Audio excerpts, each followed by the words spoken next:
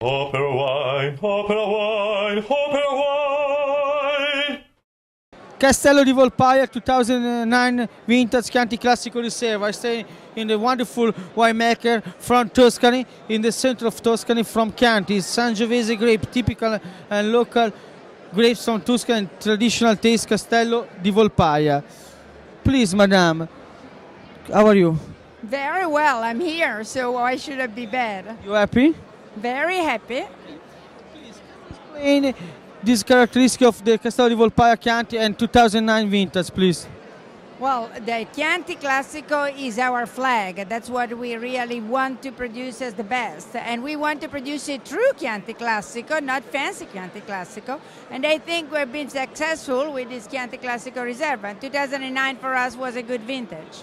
I like very much Castello di Volpaia because very identity taste and the nose really nose rich, elegant, soft, and one fantastic tannins. Thank you so much for your time.